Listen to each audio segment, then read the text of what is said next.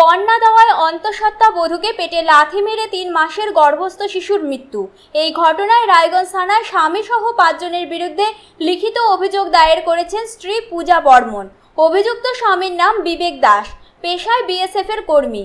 সুশান্ত দাস, প্রিয়দর্শ দাস, অনিতা দাস, দ্বিজেন দাস। এদের বাড়ি রায়গঞ্জ থানার রামপুর গ্রাম পঞ্চায়েতের লহন্ডা গ্রামে। পুলিশ সূত্রে জানা গিয়েছে, একত্রিশ পাঁচ দু তারিখে ওই বিএসএফ কর্মী বিবেক দাসের সঙ্গে হিন্দু শাস্ত্রমতে বিয়ে হয় তার। বিয়ের কিছুদিন বাদেই শুরু হয় শারীরিক ও মানসিক নির্যাতন, কারণ যৌতুক। রায়গঞ্জ থানায় লিখিত অভিযোগ দায়ের হয়েছে। অভিযোগের ভিত্তিতে ঘটনা তদন্ত শুরু করেছে রায়গঞ্জ থানার পুলিশ।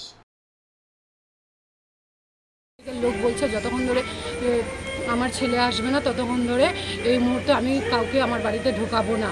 বা আমি ছেলে যেদিন আসবে সেদিন তুই আসিস, তার আগে আসবি না। এরকমভাবে শ্বশুর শাশুড়ির লোক বলছে আমাকে।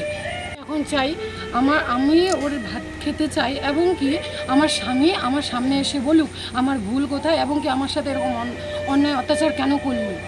আমি এটা শাস্তি চাই এবং কি বিচার চাই? রায়গঞ্জ থেকে পীথিকা পালের রিপোর্ট কুলিক নিউজ।